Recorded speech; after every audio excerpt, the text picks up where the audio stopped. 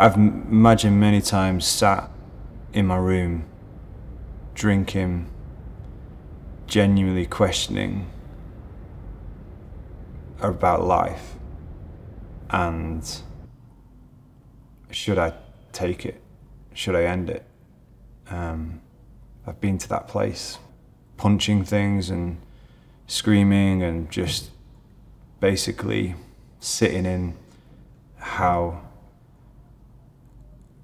I'm just useless. And that was the kind of the word I'd speak over myself, that I'm just useless and I'm rubbish and I can't do anything. And I guess I'd just constantly feed myself in that place.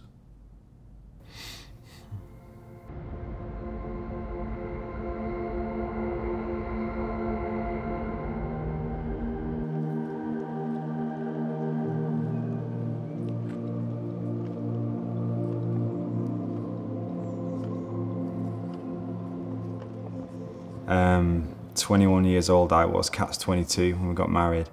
And a lot of people said it was too soon. We both sat down and said we've made a mistake. And we were thinking about how do we undo it. I'd tear things up, I'd be punching things and just uncontrollable rage at times. There's a feeling of, um, am I losing control?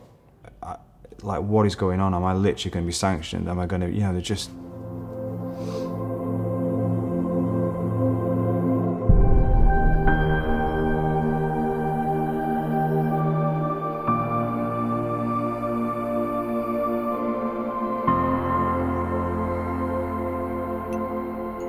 even through those really hard times, I don't know, there was just always something there where God was always nudging me and reminding me why we got married in the first place and that there was something in you that I loved from that first moment and that kind of, I don't know, it was God's sense that that would grow with us and that I needed to persevere and be strong in that and, um, and it was by God's grace absolutely that I could do that because it certainly wasn't in my own strength or um, my own ability.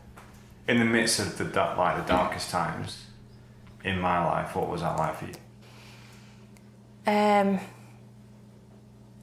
hideous, in a word, to be honest. If we're being really honest, I didn't know how to help you.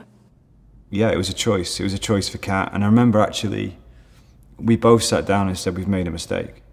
And we were thinking about how do we undo it? How do we start to have those kind of conversations and things like that? When we just said, you know, actually we've said before God that we're going to stick together, that we're going to do this, we're going to do life together. So let's really try and work out how to do this. Because the things with feelings is that they change. I can't just trust feelings. Um, because one day I'll be feeling that God is up there or Cat loves me and this is great. And then the next day I'll be like well no she doesn't or I'm not worthy or God doesn't love me anymore. And actually there's something about sitting in the truth that Cat said yes to me and she's committed to me. God has said yes to me. He's committed to me. And so working those aspects out um, has been really important. Come all you broken hearted did Jesus feel like going to the cross? No.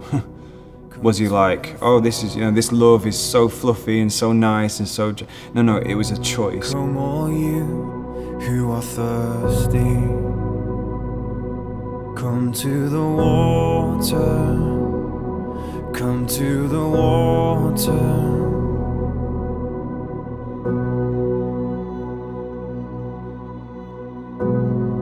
There's something about the overflow of my heart that when I remind myself of who God is and His grace and that it's reached me, I can't help but offer myself in worship. I can't help but show passion. Unfailing love is waiting for us.